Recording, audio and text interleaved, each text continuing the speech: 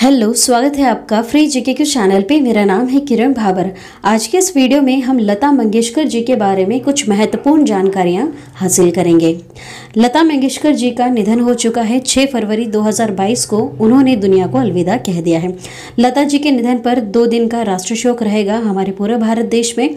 इसमें देश भर में झंडा आधा झुका रहता है। जो भी संगीत प्रेमी हैं, जिन्हें संगीत बहुत ज़्यादा पसंद है, उन्हें लता मंगेशकर जी की मृत्यु पर गहरा दुख हुआ होगा। इनके बारे में कुछ महत्वपूर्ण जानकारी हम कवर कर लेते हैं, क्योंकि अक्सर एग्ज़ाम में जो चर्चित व्यक्ति है, जो बहुत ही ज़्यादा महत्वपूर्ण है, हाल ही में जिनका निधन हो जाता है, उनके ऊपर अक्सर सवाल एग्ज़ाम में पूछ लिए जाते हैं। तो कुछ महत्वपूर्ण जानकारी हम कवर करेंगे। लता मंगेशकर जी का जन्म कब हुआ था? तारीख याद रखिएगा 28 सितंबर उन्नीस में 28 सितंबर 1929 में लता मंगेशकर जी का जन्म हुआ है। हम इस क्वेश्चन को डिटेल में समझेंगे। करीब 80 साल से संगीत की दुनिया में सक्रिय रही है लता मंगेशकर जी। इनका जन्म हुआ था 28 सितंबर सन 1929 को। मध्य प्रदेश के इंदौर में हुआ था। याद रखना है आपको कहाँ से है यह? तो मध्य प्रदेश के इंदौर से। तेरह साल की छोटी उम्र में सन 1942 से उन्होंने गाना शुरू कर दिया था। लता जी के पिताजी हैं, इनका नाम भी याद रखेगा पंडित दीनानाथ मंगेशकर। संगीत की दुनिया और मराठी रंगमंच में जाने पहचाने नाम थे ये। उन्होंने ही लता जी को संगीत की शिक्षा दी थी। पाँच भाई बहन हैं, उनमें से सबसे बड़ी है लता जी। तीन बहनें हैं इनके, आशा भोसले। आशा भोसले को सभी जानते हैं। यह भी बहुत ही बहुत ही सुंदर गीत है इनका भी। बहुत ही अच्छा गाती हैं आशा भोसले। पुराने गाने जिन्होंने भी सुन के रखे हैं, लता मंगेशकर और आशा भोसले, इन दो के गाने बहुत ही ज़्यादा फ़ेमस हैं। देखिए, इनकी एक और बहन है, उषा मंगेशकर और मीना मंगेशकर। एक भाई है इनका, भाई का नाम है हृदयनाथ मंगेशकर। अगला सवाल है लता मंगेशकर जी को भारत की सर्वोच्च नागरिक सम्मान भारत रत्न से कब नवाजा गया था? बहुत ही ज़्यादा महत्वपूर्ण प्रश्न है। भारत का सर्वोच्च नागरिक सम्मान कौन सा है? भारत रत्न है। इससे लता मंगेशकर जी को नवाजा गया है, लेकिन किस सन में? याद रखिएगा, सन 2001 में। कब? सन 2001 में। देखिए, सन 2001 में मिला था भारत रत्न। लता मंगेशकर जी को सन 2001 में संगीत की दुनिया में उनके योगदान के लिए भारत के सर्वोच्च नागरिक सम्मान भारत रत्न से उन्हें नवाजा गया था। इससे पहले भी उन्हें कई सम्मान दिए गए हैं, जिनमें पद्म विभूषण, पद्म भूषण और दादा साहेब फाल्के जैसे बड़े बड़े सम्मान शामिल हैं।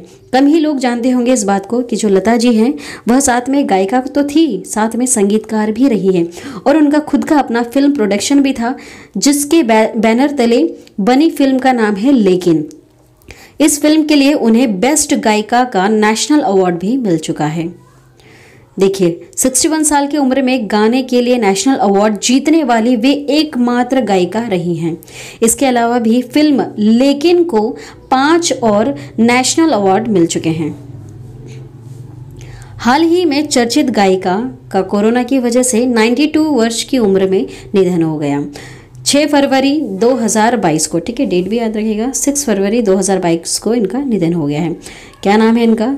तो लता मंगेशकर। ठीक है, इस तरह के जो सवाल मैंने यहाँ पर बनाया है, ये सवाल बहुत बार करंट अफेयर में पूछा जा चुका है। हाल ही में जिस भी चर्चित व्यक्ति का निधन होता है, उनके ऊपर सवाल अक्सर पूछ लिया जाता है, ठीक है, जो भी अभी आपका कॉम्पिटेटिव एग्ज़ाम आने वाला है, उसमें लता जी से रिलेटेड सवाल पूछे जा सकते हैं। देखिए, आज तारीख है 6 फरवरी 2022 को। सुर साम्राज्य लता मंगेशकर जी कोरोना से जंग हार चुके हैं और दुनिया को अलविदा कह चुके हैं। आज उन्होंने मुंबई के ब्रीच कैंडी अस्पताल में आखिरी सांस ली है। कौन से हॉस्पिटल में? मुंबई के ब्रीच कैंडी अस्पताल में। लता जी के निधन पर दो दिन का राष्ट्रीय शोक रहेगा। कितने दिन का? दो दिन का राष्ट्रीय शोक। देश भर में झंडा आधा झुके रहेगा। उनकी पार्थिव देह को दोपहर बारह बजे लताकुंज स्थित घर में ले जाया जाएगा। 92 साल की उम्र में लता जी की कोरोना रिपोर्ट 8 जनवरी को पॉजिटिव आई थी, जिसके बाद उन्हें तुरंत अस्पताल में भर्ती कराया गया। उन्होंने कोरोना और निमोनिया दोनों से 29 दिन तक एक साथ जंग लड़ी थी। स्वर कोकिला के उपनाम से किसे जाना जाता है? स्वर कोकिला किसे कहते हैं? तो लता मंगेशकर जी को कहते हैं। ठीक है, सभी व्यक्ति स्वर कोकिला के नाम से किसे जानते हैं? लता मंगेशकर जी को जानते हैं। देखिए ये मेरे वतन के लोगों, जो गाना है, जो आप हर बार 26 जनवरी या 15 अगस्त को सुनते हैं, बहुत सारे बच्चे इस पर डांस करते हैं तो यह जो गाना है, यह एक हिंदी देशभक्ति गीत है, जिसे कवि प्रदीप ने लिखा था और जिसे सी रामचंद्र जी ने संगीत दिया था। ये जो गीत है, यह चीनी आक्रमण के समय मारे गए भारतीय सैनिकों को समर्पित था। यह गीत तब मशहूर हुआ, बहुत ही ज़्यादा तब मशहूर हुआ, जब लता मंगेशकर जी ने इसे नई दिल्ली में गणतंत्र दिवस के अवसर पर रामलीला मैदान में, जब तत्कालीन प्रधानमंत्री थे पंडित जवाहरलाल नेहरू जी, इनकी उपस्थित में जब ये प्रेजेंट थे, वहाँ पर उपस्थित थे तो इन्होंने यह गाना गाया था। चीन से हुए युद्ध के बाद 27 जनवरी सन 1963 में दिल्ली नेशनल स्टेडियम में स्वर कोकिला लता मंगेशकर जी ने यह गाना गाया था। यह कहा जाता है कि इस गाने को सुनने के बाद जो पंडित जवाहरलाल नेहरू जी हैं, उनकी आँखें भर आई थी। वाकई में ये गाना बहुत ही ज़्यादा अच्छा है। अगर आप इसको ध्यान से सुनेंगे तो जो भी व्यक्ति अपने भारत देश से बहुत ज़्यादा प्रेम करते हैं, उनकी आँखों में ज़रूर आँसू आ जाएँगे। बहुत ही सुंदर गाना है। फ़ेमस कब हुआ था ये गाना? जब लता मंगेशकर जी ने इसे गाया था।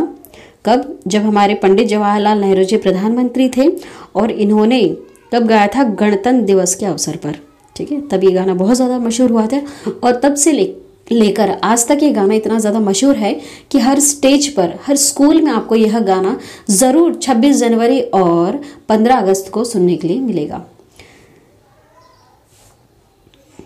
आज की वीडियो में इतना ही। लता जी से रिलेटेड जो महत्वपूर्ण चीज़ें थी, वो मैंने कवर करवा दी हैं, क्योंकि अक्सर हमारे कॉम्पिटिटिव एग्ज़ाम में यह चलन है, चलता आ रहा है कि जो चर्चित व्यक्ति हैं, जिनका निधन हो जाता है किसी भी कारणवश तो उनके ऊपर सवाल पूछ लिए जाते हैं, ठीक है? वीडियो अगर पसंद आती है तो वीडियो को लाइक करें, शेयर करें और हमारे इस चैनल को आप ज़रूर सब्सक्राइब कर दें। Thank you.